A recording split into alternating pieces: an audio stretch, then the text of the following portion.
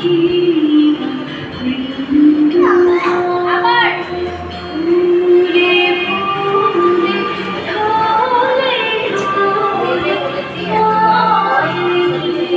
Gõ Để không bỏ lỡ những video hấp dẫn